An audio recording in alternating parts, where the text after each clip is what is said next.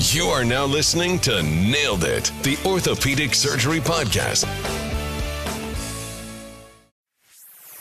You are now listening to Nailed It, the Orthopedic Surgery Podcast. Cool.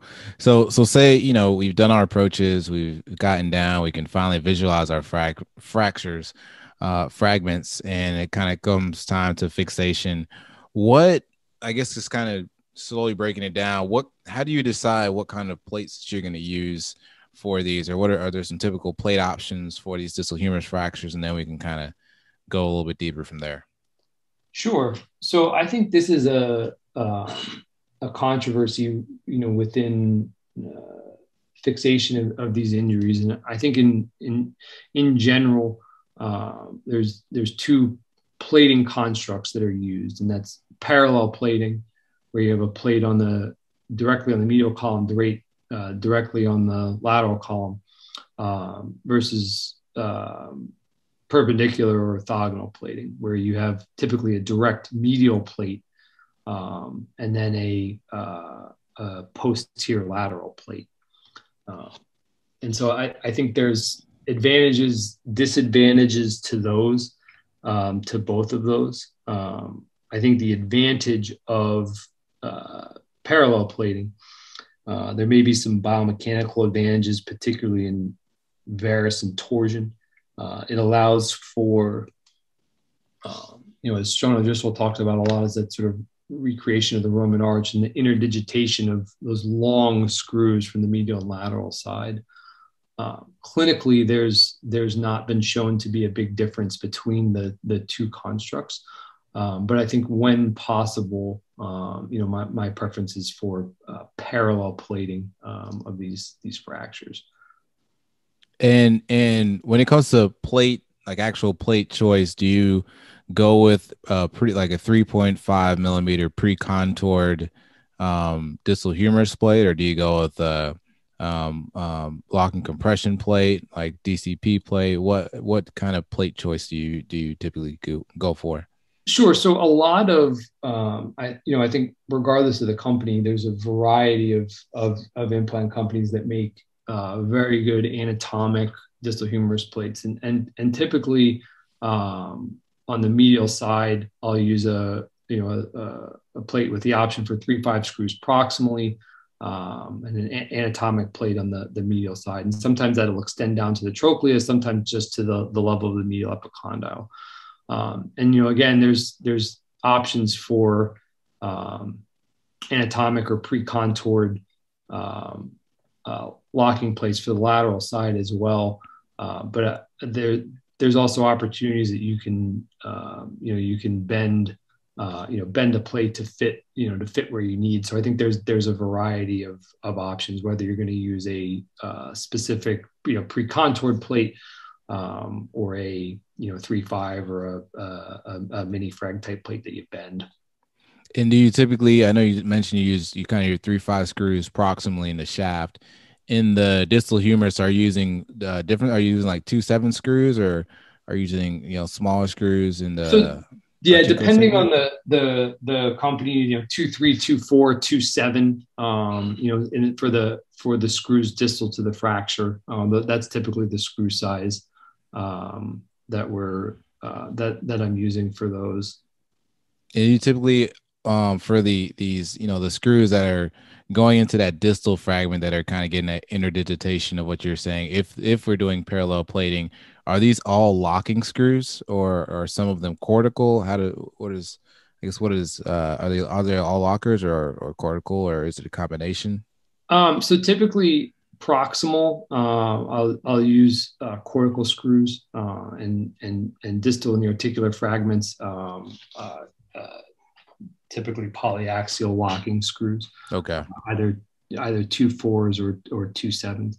Um, sometimes, uh, particularly in the case of a you know with an articular split, uh, you can put an independent uh, screw across the articular surface. Um, and I think particularly in cases where there's there's comminution, uh, I think it's important to have the positional screw and, and not to you know compress across that because you can narrow your trochlea. Um, but but the, for in terms of the the screws through the plate, uh, I, I typically would use lock screws and that locking screws in that area. Okay, and and I guess as far as um, the length of the plate, how do you know? How do you choose how far proximal you want the plate to go? Like I I, read, I saw some things where they say when at least three holes proximal to the metaphyseal component um some i mean do you want three? And then how do you if you're doing parallel plating do you, do you want both plates to end at the same level or do you want plate one plate higher than the other or what I mean, any thoughts on that? So yeah that that's an interesting question and i think there's some um some conflicting biomechanic information.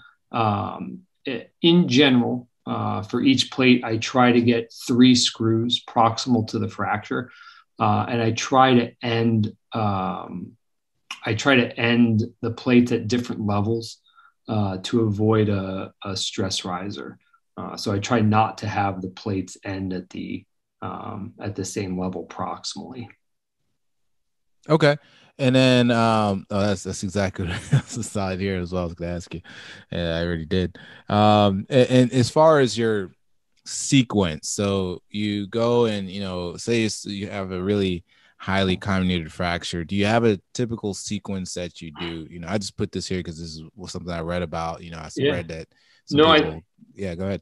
I think this is a really important, um, a really important part, uh, and and I'll I'll talk about this in the context of you know, that there's a a C-type fracture, uh, and and we're going to proceed with um, you know with with parallel plating. Uh, I'll start by um, trying to reduce the articular surface. Uh, so, you know, turn a, a, a C type into an A type. And typically that's depending on how much comminution and how many pieces there are, it's with a variety of, of um, small K wires, um, you know, 035, uh, 045 K wires to get your articular block, your articular segment into, um, you know, into one piece.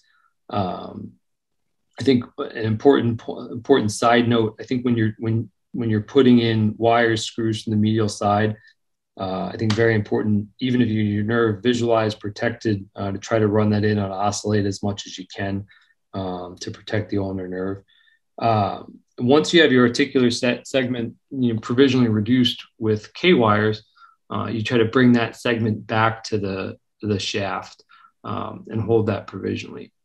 Um, the next step, I think you can apply your plates both on the um, the medial and the lateral column, um, and I'll get provisional K wire fixation both proximally and distally through the plates into the fragment. Um, and so now you have everything reduced. You have both your plates in place, you know, of, of where you want them. Um, and I'll put a screw, a cortical screw in the oblong hole through both plates um, proximally and tighten them down.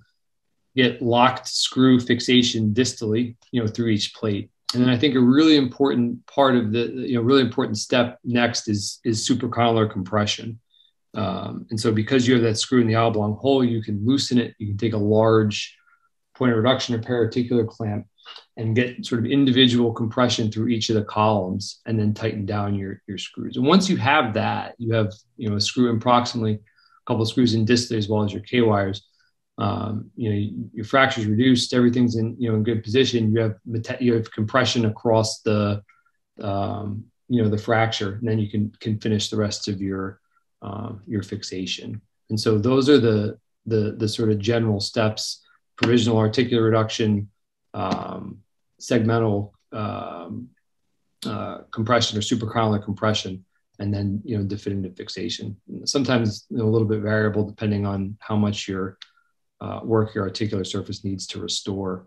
Um, but those are the general steps that that um, that I follow for parallel plating. And, and when you're putting your um, your K wires in, where did you say that you're you're starting medial and, and putting them in laterally when you can, just because you because you know where the nerve is, or no? Uh, I, I, think you know, d- just depends on where you know where they they need to go. I think when you put wires in from the um, you know wires in from the medial side, um, I, I, try to run those in on oscillate just as sort of an extra layer of protection from the nerve.